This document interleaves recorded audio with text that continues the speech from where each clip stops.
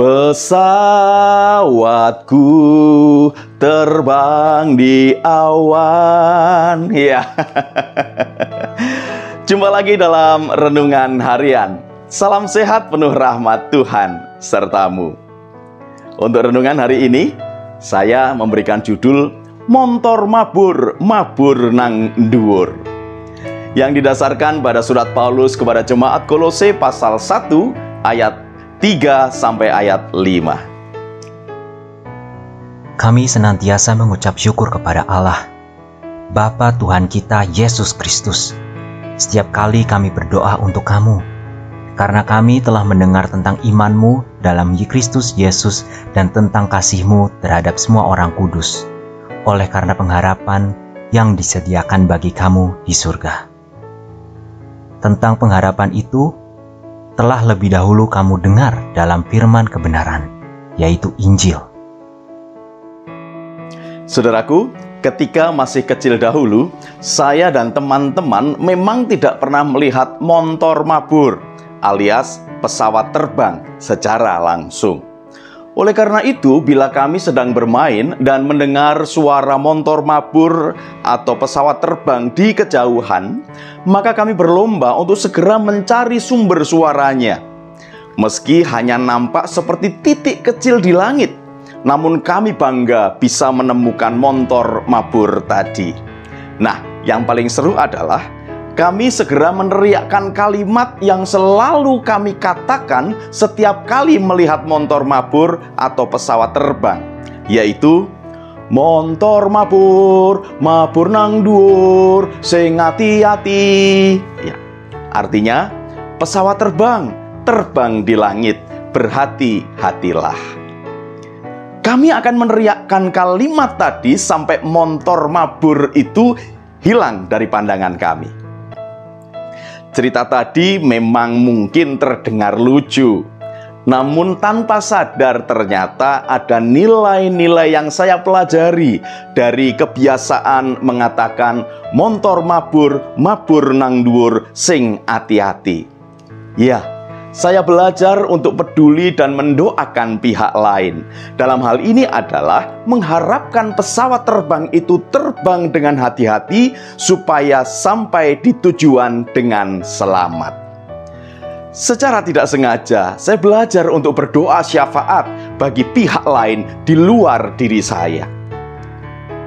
Kita paham bahwa doa syafaat dimaknai sebagai doa yang bukan ditujukan untuk memenuhi kebutuhan diri sendiri, melainkan untuk mendoakan hal-hal positif dan kebaikan pihak lain.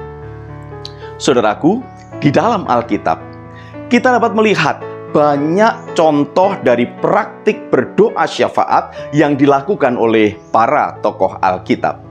Salah satunya adalah Rasul Paulus. Rasul Paulus mendoakan orang-orang yang dilayaninya Meski tidak disebutkan secara spesifik nama-nama orang yang didoakan, namun Paulus mendoakan agar mereka memelihara iman di tengah-tengah tantangan hidup yang begitu keras.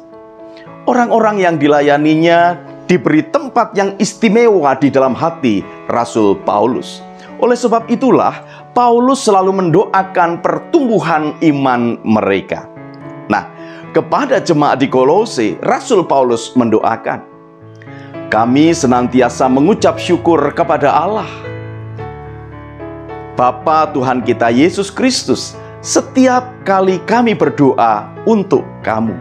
Karena kami telah mendengar tentang imanmu dalam Kristus Yesus dan tentang kasihmu terhadap semua orang kudus, oleh karena pengharapan yang disediakan bagi kamu di surga tentang pengharapan itu telah lebih dahulu kamu dengar dalam firman kebenaran, yaitu Injil. Bagi Paulus, mendoakan jemaat di Kolose sesungguhnya adalah perwujudan cinta kasih dan perhatian Paulus yang tulus. Saya sangat meyakini, saudaraku, bahwa bila saya dapat berdiri tegak dan melayani hari ini, itu karena doa-doa dari orang-orang yang mengasihi saya, seperti mama saya, Dan tentunya dulu papa almarhum saya. Bapak dan ibu mertua saya. Bunda dan anak-anak. Dan tentunya Anda semua. Teriakan montor mabur, mabur nang dhuwur, sing hati-hati kembali mengiang dalam benak saya. Seolah mengingatkan untuk tidak lelah berdoa syafaat bagi pihak lain. Karena di dalam doa syafaat terkandung cinta yang mendalam kepada mereka yang didoakan. Selamat berjuang saudaraku, Tuhan Yesus memberkati. Salam guru dan keluarga.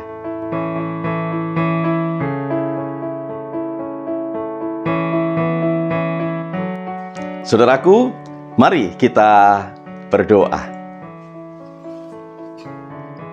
Ya Tuhan, kami rindu untuk menjadi pendoa syafaat bagi pihak-pihak lain. Sebab kami rindu, kami mau meneladani Kristus yang juga berdoa bagi kami dan bagi dunia ini. Kiranya Roh Kudus menolong kami untuk dapat mewujudkannya. Terima kasih Tuhan Yesus. Amin.